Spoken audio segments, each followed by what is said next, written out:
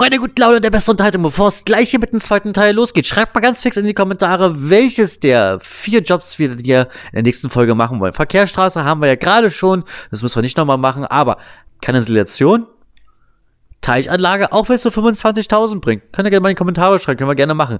Für 600.000 Parkplatz oder ein Familienhaus. Aber wie gesagt, egal ob 25.000 oder 600.000, ich glaube, alles wäre irgendwie interessant. Im Gegensatz jetzt nochmal eine Verkehrsstraße zu machen. Also, viel Spaß beim Video. Ja, und damit hallo, herzlich willkommen, einen wunderschönen guten Morgen hier aus dem Spiel bei Bausimulator mit dem zweiten Teil unseren Jobs Verkehrsstraße. Wir müssen gerade Kies ja, holen, aufschütten, liefern und äh, am besten verteilen. Das haben wir schon mal gemacht. 53% Kies haben wir schon mal geholt.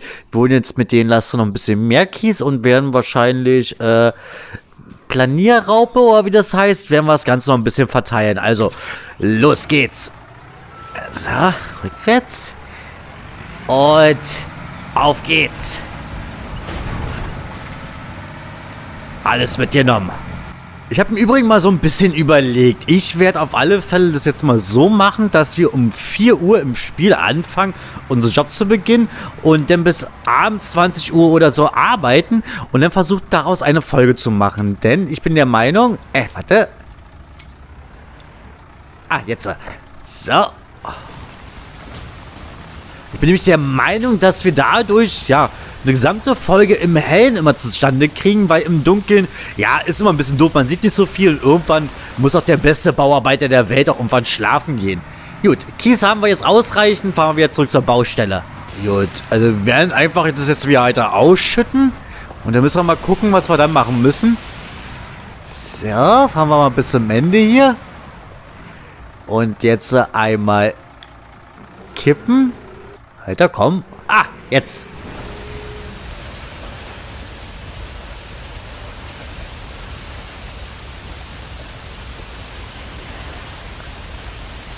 Und was haben wir am Ende? Wir haben jetzt schon mal 89 Prozent. Ich fahre einfach mal rüber. 90. Nee, uns fehlt wirklich noch ein bisschen was. Wo? Voila. Ah, kann schon mal passieren.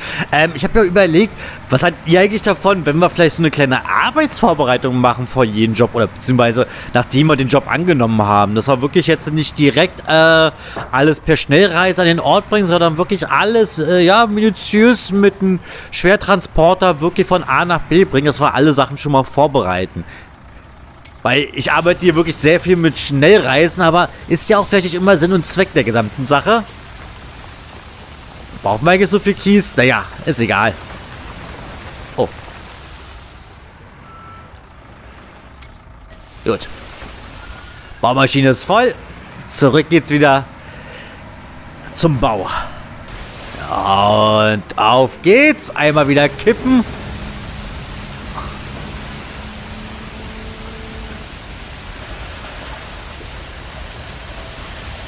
Hundert Prozent haben wir schon mal. Und die markierten Bereich sollen wir gleich räumen. Warte, ihr könnt euch den restlichen Kies hier ausladen. Und dann fahren wir mal kurz hier raus.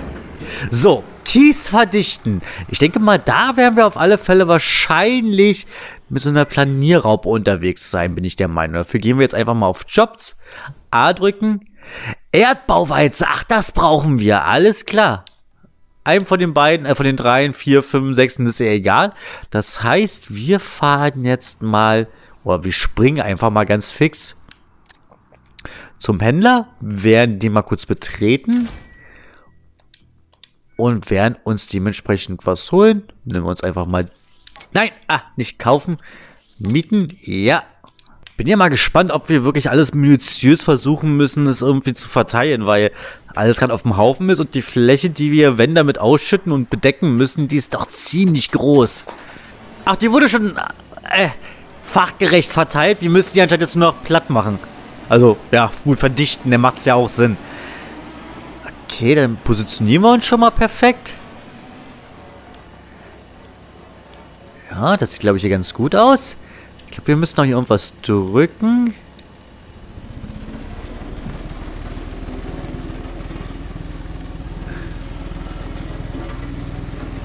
Ja, Okay, es geht los. So, jetzt haben wir die ganze Bahn hier erstmal schön ab. Das kann auch natürlich ein bisschen dauern. Guck mal, man sieht denn so schön, wie platt es da gemacht wird. Da, guck mal. Oh, sieht das cool aus. Und dann wird wahrscheinlich noch mal Asphalt am Ende rüberkommen.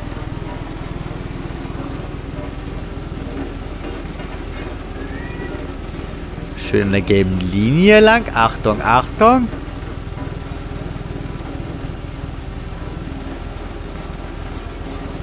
Sehr schön. Erste Bahn ist geschafft von, ich würde mal sagen, acht Stück. Und jetzt immer schön der gelben Linie entlang.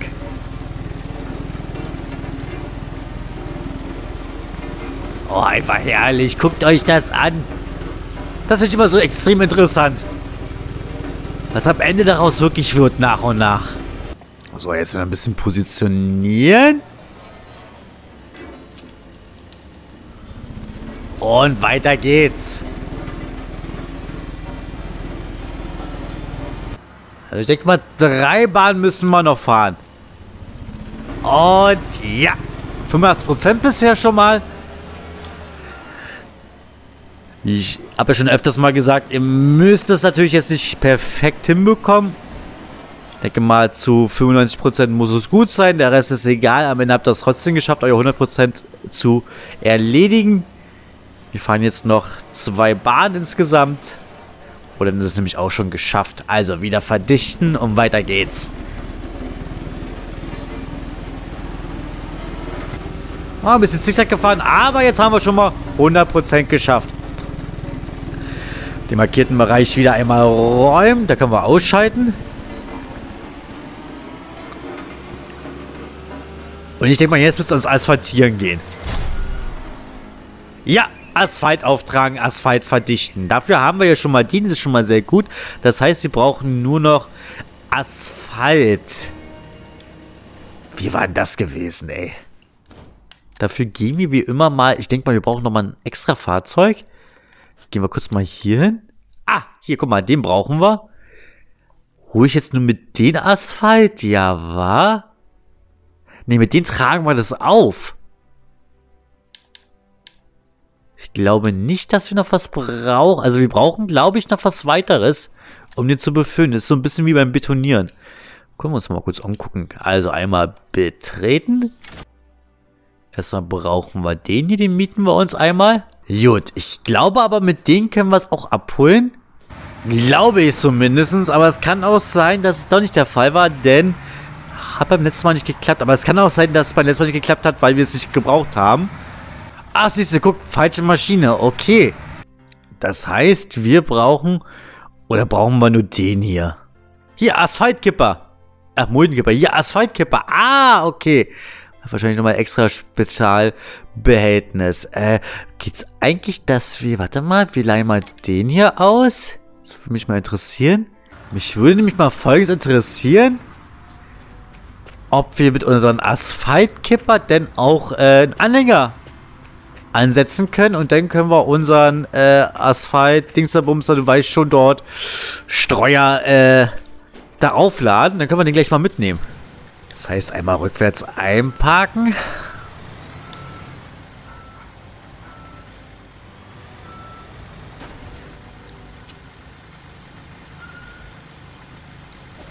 Oh. Scheiße, das habe ich für 13.000 befüllt. Aber ich habe ihn befüllt, ist ja auch nicht schlecht. Das ist, glaube ich, viel teurer wahrscheinlich. Wir können ja mal gucken, was kostet das eigentlich? Also das ganze Befüllen hat jetzt 13.000 gekostet. Jetzt habe ich den Anhänger umsonst geholt, aber ist auch egal. Wir machen mal eine Schnellreise dorthin. Bin der Meinung, leeren wollen wir ihn nicht. So, da ist gutes Stück. Also den, den kippen wir, den kippen wir, wa? Gut, dann machen wir es einfach doch ein bisschen anders als jetzt richtig doof gelaufen. Wir fahren mal kurz hier an den hier ran.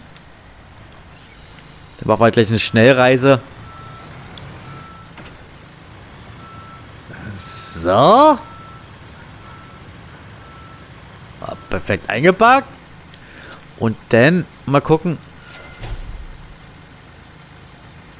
Ich bin dumm. Egal, kaufen wir nochmal. Wie war denn das jetzt hier gewesen? Ah! Hier, so war das.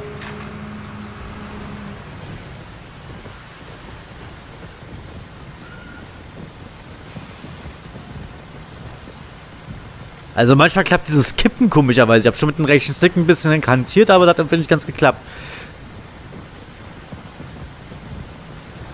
So, warten wir mal, bis der jetzt hier komplett leer ist. Der eine scheint jetzt hier voll zu sein. Mit dem kann man jetzt eine schöne Schnellreise machen. Und ich denke mal, genauso wie beim Kies werden wir auch hier jetzt... Oh, stimmt, Kettenantrieb. Werden wir auch hier dran drei Anläufe probieren. Ja, ich denke mal, genauso wie beim Kies werden wir drei Anläufe benötigen, um hier erstmal alles zu füllen. Was ist jetzt hier los? Wo bleiben wir hängen? So.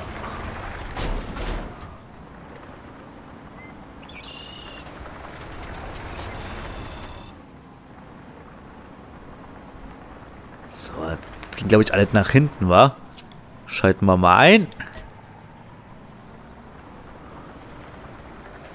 Dann fahren wir noch ein bisschen hier weiter vor.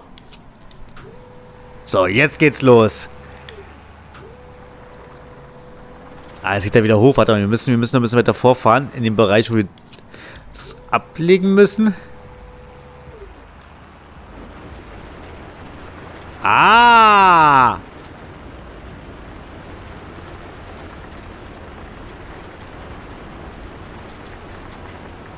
Oh, ah, Kettenantrieb ist aber auch mal ein bisschen Käse, ey. Oh, jetzt haben wir eine gute Breite hier erwischt. Das haben wir hier einfach schön entlang. Wie mit dem Kies, 13 und 14 Prozent haben wir jetzt schon mal. Also müssen wir auch unsere paar Bahnen fahren, bis wir das erstmal hier voll kriegen. Oh, ey, fahren wir mal so eine Kurve herum, wa? Gut. Dann müsst ihr wahrscheinlich jetzt gleich wieder hochfahren.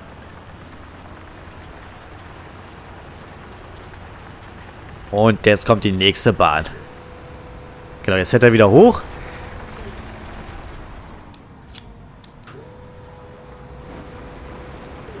Ich nehme auch hier so ein bisschen. Und dann geht es richtig schön weiter hier. Okay.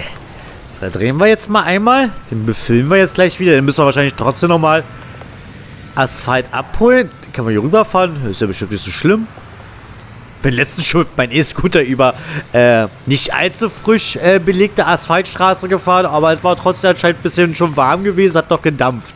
Habe ich erst gar nicht gesehen. So, ich gehe jetzt mal ganz stark davon aus, wir brauchen noch eine Ladung, die holen wir uns gleich mal. Und dann achten wir oben mal auf das Geld, wie viel wir denn jetzt dafür ausgegeben haben, weil das eigentliche schnelle Befüllen Kostet 13.000, aber ich denke mal, es wird günstiger sein, wenn wir es dann persönlich abholen sollten. Boah, das ging aber. 8.000 bis 7.000 hat mir das gerade mal gekostet. Also knappe 8.000. 5.000 Euro weniger. Gut, also frischen Asphalt haben wir. Der ist auch noch ein bisschen beladen. Das heißt, wir können jetzt damit noch ein bisschen weiter fahren.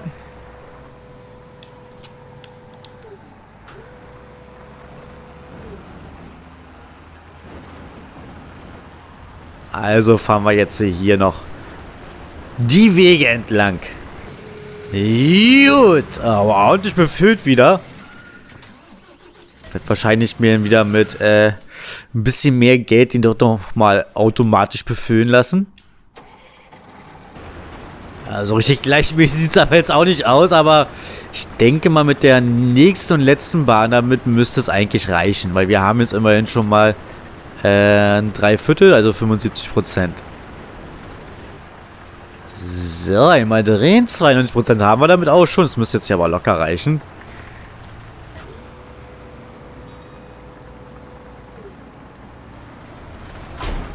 Oh. Ein bisschen sehr forsch gewesen von mir.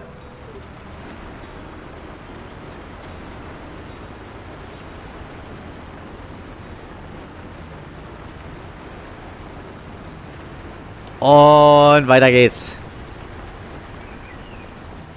Ja, geschafft. 100% geschafft. Jetzt müssen wir ihn noch verdichten. Jetzt frage ich mich ja tatsächlich. Wir können erstmal den, glaube ich, jetzt hier wegmachen. Dann müssen wir einfach nur in unseren Fuhrpark gehen. Und dann machen wir den mal hier auf zurückgeben. Ah, ist eine Erddingsterbums. Da siehst du, doch falsch gewesen. Den können wir weggeben. Das ist unserer. Den können wir weggeben. Den können wir weggeben. Den können wir weggeben. Und dann müssen wir nur noch laut Karte wieder einmal zum Händler. Da können wir mal betreten. Und jetzt brauchen wir eine Asphaltwalze. Eine kleine. Haben, wir, haben sie auch eine große hier? Hier ist eine kleine. Ich glaube, manche hatten aber auch eine große gehabt. Nee. Na gut, nehmen wir einfach den hier. Einmal mieten. Gut.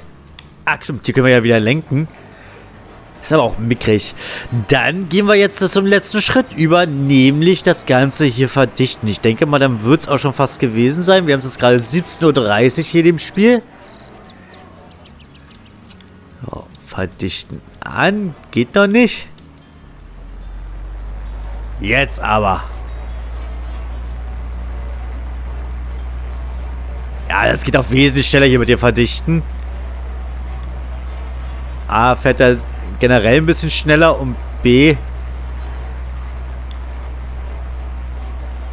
sind wir ein bisschen äh, eleganter und agiler unterwegs. Ich kann nämlich ein bisschen besser lenken als mit diesem ganzen Kettenantrieb. Aber wird auch ein bisschen dauern, wa? Die eine Bahn haben wir jetzt so wahrscheinlich am Ende so 15, 17 Prozent. Also ein Sechstel ungefähr, wenn überhaupt. Das ist die Frage, war. Weiß ja nicht, äh, wie ihr das seht. Würdet ihr jetzt auch die ganze Bahn hier, so wie ich immer, längs äh, hin und her fahren? Oder würdet ihr vielleicht kurze Strecken gehen? Gerade weil der da in so eine Kurve mündet, dass wir erstmal diesen Bereich komplett zumachen und dann hier, dann müssen wir nicht so oft hin und her fahren. Ich probier's mal aus. Ich mach mal hier so ein bisschen klein-klein. Dann muss ich mal um die Kurve hier fahren. Also das Verdichten, äh, das beansprucht wirklich sehr, sehr viel Zeit. Aber wenn wir es sogar schaffen, war es der letzte Abschnitt auch für heute gewesen. Aber es kann sein, obwohl ich weiß nicht, ob wir auch Straßen markieren hier. Davon habe ich jetzt nichts sehen können in Sachen äh, Maschine. 82, 83 Prozent. Zwei Bahnen müssten wir noch knapp fahren, wahrscheinlich ein bisschen die Kurve mit. 94. 95. Ja, haben wir gleich geschafft. Da siehst du, die mittlere, die jetzt noch offen bleibt, äh, die brauchen wir schon gar nicht mehr. Die fahren wir vielleicht höchstens mal einmal an. Aber wir sind schon bei 97. 98. 99. Sehr schön. Und haben wir geschafft. So, Baustelle räumen. Äh. Warte mal, wer steht denn da? Hey, wer bist du denn? Hallöchen.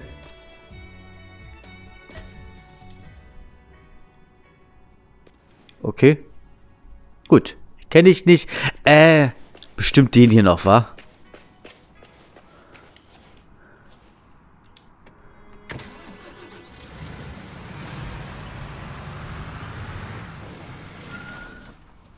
Gut, äh, sprich mit dem Vorarbeiter. Das war jetzt der hier gewesen. So, moin, Chefchen, was gibt's? Das war's gewesen. Verkehrsstraße, Auftrag abgeschlossen. Pünktlich zum Feierabend, fast um 20 Uhr, wie ich es ja so ungefähr gesagt habe. 21 Uhr, na gut, ist ja fast dasselbe. Und wir haben ordentlich Geld kassiert dafür, obwohl es eigentlich sich noch so ein bisschen Grenzen hält. Aber stimmt, wir kriegen ja, ach, Verzeihung, wir kriegen ja immer, wir kriegen ja nicht diese ganze am Ende, sondern wir kriegen ja immer für jeden Abschnitt ein bisschen Geld. Gut, Freunde, guten Laune. Wir gucken uns jetzt nochmal zum Ende hin den nächsten Job an. Und da könnt ihr ein holpriger Start. Nee, das wollte ich jetzt hier nicht machen. Äh, da könnt ihr sehr gerne entscheiden, was wir machen. Also Verkehrsstraße würde ich jetzt nicht machen. Wir haben noch hier Verkehrsstraße. Wir haben sehr viele Ver Warum habe ich so viele Verkehrsstraßen jetzt hier auf einmal? Äh. Okay. Schreibt mal in die Kommentare, können wir es irgendwie ändern? Nee, ist mal ganz ernsthaft. Ich werde jetzt nicht doch mal gerne hier Verkehrsstraße machen. Wir machen mal folgendes. Nee, warte mal, wir gehen nochmal hier. Wir können nämlich auch aktualisieren. Ah, puh. wollte ich gerade sagen. Okay, ähm, ich würde mal sagen, ihr könnt euch mal entscheiden zwischen Kanalisation, Teichanlagen, auch wenn es nur 25.000 bringt, schreibt's mal gerne.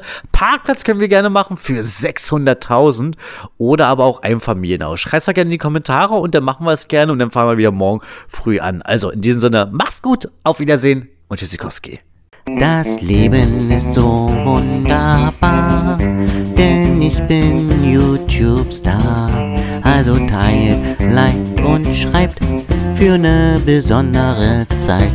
Bis bald.